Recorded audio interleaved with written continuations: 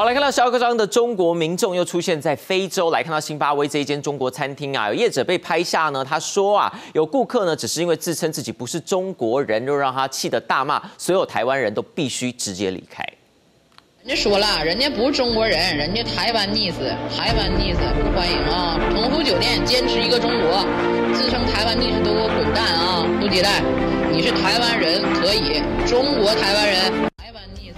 好，这样嚣张的做法呢，还沾沾自喜。他强调他坚持的餐厅呢，要一个中国原则，当然也被尊重。不过在消费市场上呢，不让台湾人来用餐这样子的战狼式的行为，被批评毫无世界公民的道德。